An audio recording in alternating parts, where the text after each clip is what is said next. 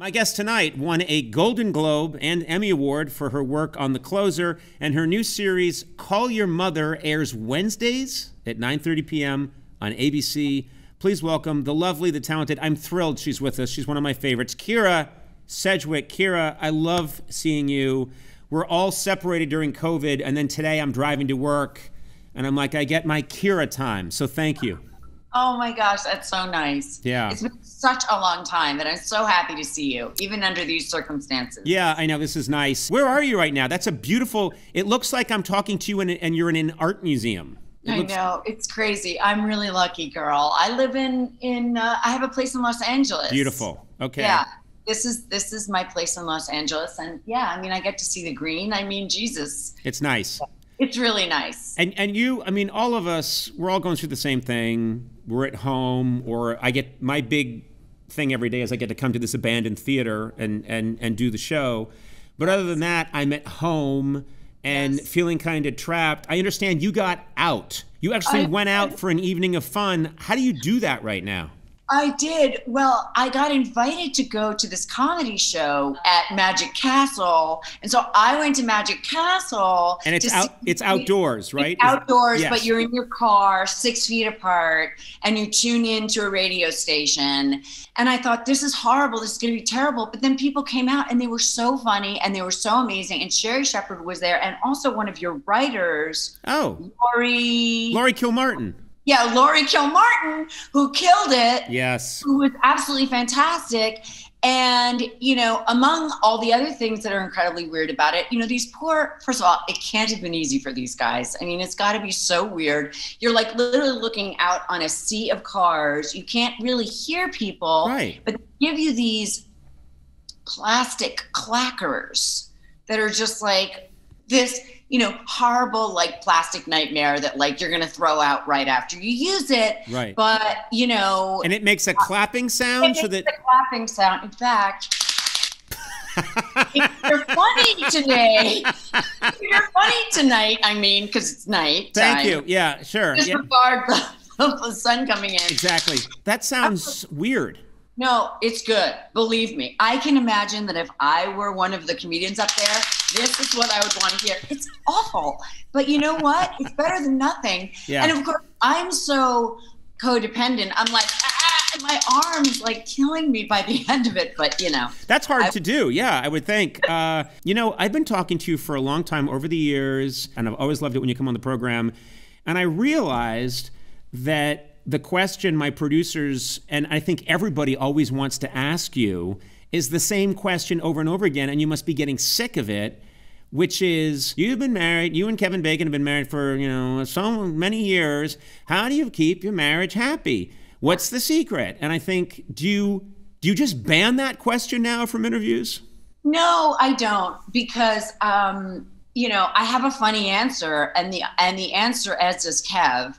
Kev's is you keep the fights clean and the sex dirty. Oh, People like that one. Right. And mine is the secret to a happy marriage is not to take marital advice from um, celebrities. yes. That's mine. Is Yeah. to not not not ask me that question because I don't have the. But the true answer is, and I'm just going to tell you right now, the secret to a happy marriage is not hanging out together 24 7 365 days a year Yeah. i mean really like you know absence make the heart makes the heart grow fonder and like you know when you're out in the world and bringing things back into a marriage that is a good thing as long as it's not a third person unless you're into that stuff Which I am.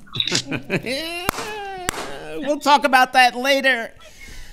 i don't know if you guys have this but like as we've been married like our bed has gotten bigger you know like like we started out with a queen for like 20 years we've been married 32 years and like Wow. 21 years into the marriage kev's like i think we need a better bed bigger bed and i'm like what a bigger bed you know this just is the beginning of the end i mean i was like really freaked out by it but then we got a bigger bed and i was like oh yeah bigger bed that's good You know what you should try? This is something my wife wanted to try about two years ago. We got bunk beds.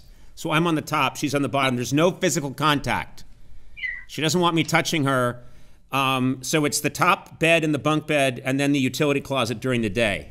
And we have a very, that's how you keep a marriage going. That's the secret. Yeah, I don't know why bunk beds are just for kids. It's ridiculous. It's a way to keep it going. You know what's amazing is this is very different for us. I know that you had, you guys had kids early, and this is something that your new show is about. Call your mother because you. I'm not at the empty nester stage yet. How old are your kids? My kids are. My daughter is 17, and Oh. uh, my son is uh, 15. So we're getting there, but I still can't even imagine it. Yeah. But I know that you had kids early, and so you've got you, you're used to this idea of it's things are quiet. Things are quiet, things are different, definitely, and it doesn't suck.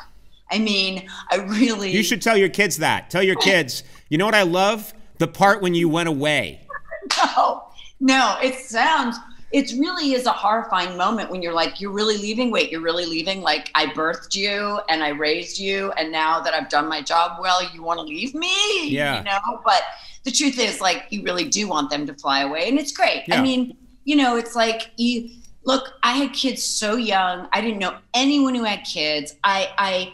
I don't no one taught me how to do a lot of the things that like I grew up in the 70s, you know, where like mothers didn't wake up in the morning and like make their kids breakfast. Like I don't know how I got up. I don't know how I got dressed. I don't know how I got to school. I mean, I know I did. Like, but you know, I, I just Your mother, then- your mother didn't. You felt like your mother didn't teach you the necessary things you needed to know.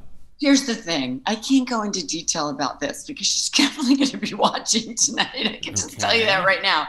Suffice to say, it's like little things like when to go to the dentist and like when to wash your hands, you know, after you use the loo and stuff like that. Like She didn't tell you you have to wash your hands after you use the bathroom. like I said, we're not going to go into detail about this. I think you just did. You just did. Just went into detail.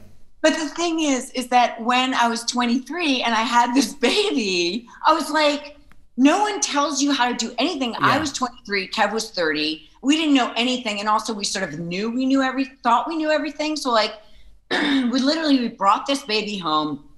I didn't know how to change a diaper. Yeah. I mean, I'm not I'm not exaggerating. But we went through that too. No one tells you any of this stuff. And No. And I- their legs are like this in the beginning. They're completely folded into each other. Don't you remember that? Or did you not do the did you not I when my every each time my wife uh, gave birth, I left for a period of uh, I think a year each time and stayed at a hotel, and then I came back when I was told the coast was clear. That was my way of doing it, and I I, think it was very. true. It's not true, but I know that's not true. I just trust me. I thought about it. I thought about maybe I could just go to a hotel for a year and then come back when the when my child is wearing like a little sailor suit and it's like, "Hello, father. Nice to see you. Come in. I brought you your slippers." I didn't even know how to like. I didn't even know. I mean, there was a time when my son, my first kid, he started to, you know, get up out of the crib. You know, at like a very young age, like maybe a year into it, which is something that parents experience. I've since found out, but like. I didn't know that this was sort of, it didn't Right. mean that you were supposed to put them in a big boy bed, which is what I thought. I was like, oh, well, he, we were like, oh, well, he's one and it's time to be in a big boy bed. And we put him in a big boy bed, like a real bed. And we would go downstairs and we'd be watching TV and we'd hear this giant thump Oh upstairs. and we go up the stairs and Travis had fallen out of the bed. Sure. And we were like, oh, well, pick him up, put him back in the bed. You know, didn't even think twice about it. I was like, oh, well, this is what happens, right? Like people, the kids fall out of bed.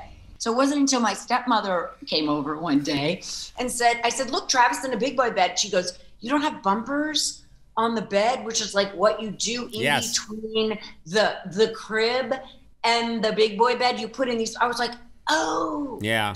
why he keeps falling out of. You know what else works is duct tape. Duct tape holds the baby right there. You know, I'm curious about something. You're doing this show now, Call Your Mother, and uh, one of the things that's so great about doing a multi camera show, sitcom, is you have an audience there and they give you that rush of energy and you walk in and they're thrilled to see you. And oh that's what, even when you're watching those shows, the energy of the audience is what helps so much. And I know that you guys are making this show and a, a very funny comedy, but you have to rely on your own instincts. You can't have an audience. You have to rely on your own instincts, but you also have to rely on like well first of all yes you definitely have to rely on your own instincts which may or may not be good but but also you have to like rely on your own ego to like get you through the day right i mean are yeah. you experiencing this it's like oh yeah i have such a big ego and you're right it's your ego that gets you through i hear huge laughs in my mind uh, wow. now they probably wouldn't exist in real life if there was an audience here. But as long as my delusion is what's keeping me going, that's really what's keeping me going. Man, give me some of that delusion. I've got I've I, got plenty left over. bring it on, bring it on, buddy. Because I spend a lot of times going like, "You suck." well, you. I don't think you have to worry about that. Uh, congratulations on the show. Call Your Mother airs Wednesdays at 9:30 on ABC. And doesn't it feel good to be making something though? I know there's no oh audience, God. but you're you're you're there, you're making something, you're making something funny with people that you like, and that's the blessing. To me, it that's the blessing. blessing. It is such a blessing. We're really lucky to be able to do it and to be able to like employ people. So Well, what I'd like you to do is sometime soon, once we all get vaccinated, once I get my shot, you get your shot, bring the clacker, and I want you to do Next time. I need just a little of that. I just need a little of that in my life. And if you're doing it, just you with all the cardboard cutouts, I'll be thrilled. Okay, good. i am happy to do it. Really happy to support. Thank you so much. What you? Yeah, I know. Oh. We both know that's never happening, but thank you for saying it would. Uh, hey, thank you so much for talking to me, Kyra. I love discussing things with you. You've always you're always a great guest, and um, I'm happy for you. Thank you. Take good care. So good to see you. Good to see you. Now, here, have a giant glass of water. Yeah, here it comes.